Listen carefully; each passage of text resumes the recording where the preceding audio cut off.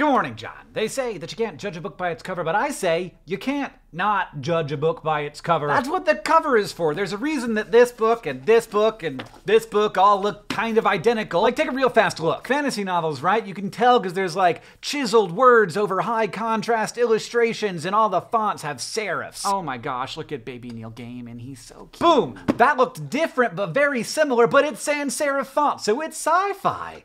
That's the difference. So for obvious reasons, I've been thinking a lot about book covers lately, and I want to share with you today the cover of my book, An Absolutely Remarkable Thing. It's available September 25th, and you can get it for pre-order now. But first, I'd like to give like a deeply subjective and incomplete list of some of the best book covers from the last 10 or 15 years. Let's start here with a book that came out in 1986, but I, I promise it's gonna make sense in a second. This is Watchmen. If you've read the comic, you know what this image is. If you haven't, then you probably don't, and I like that a lot about it. It's mysterious, but it's bold and eye-catching, so bright. And I like the bold, very sort of logo design alternate title placement. I mean, obviously iconic, one of the most iconic covers ever, but it's not really one of the things on my list. This is. This is It Devours by Joseph Fink and Jeffrey Cranor. And when I first saw it, I thought of the cover of Watchmen. Obviously the color, but also the really sort of bold, comic-y font. I love this image. I love that there's a lot of like radial, interesting things happening in covers right now. Here's another really good, interesting, radially designed thing. And I also like that in this case, the title kind of becomes the cover rather than there having to be some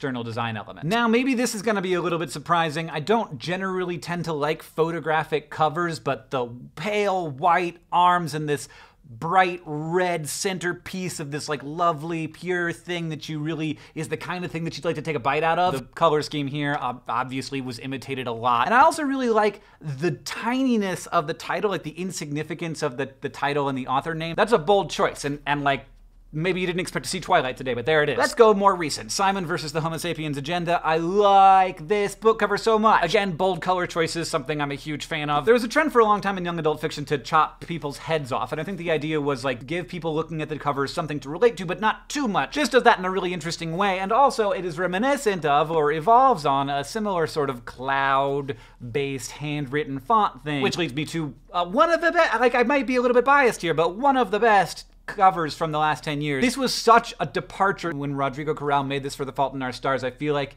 it really leveled up young adult literature. It feels kind of almost branded, and I think that it started off or was part of a really important and necessary trend in cover design. My second to last cover, V.E. Schwab's A Darker Shade of Magic. Again, really interesting, thoughtful color choice happening here. This cover to me feels kind of full of institutional knowledge, like it knows a great deal about the book that I don't know yet.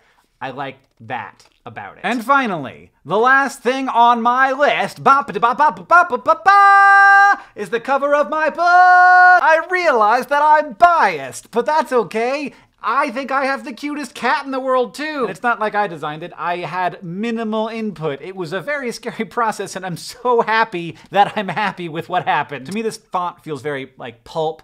It feels adventure, it feels comic, but then in the background here, it feels like you're getting drawn into something that's a little bit mysterious, a little bit creepy, which is exactly what I wanted. Like it feels a little bit ostentatious in its color choice, which if you know the main character of the book, which none of you do yet, that makes a lot of sense. April is a graphic designer herself, the main character in the book, and I, she's very into color choice. But I think that she'd be into how it kind of stands on its own as a design and a little bit of, you know, an identity for the book. All of the English language publishers really like this, so it's going to be the same cover in the UK, in Canada, and Australia. My book has a cover! John, I'll see you on Tuesday.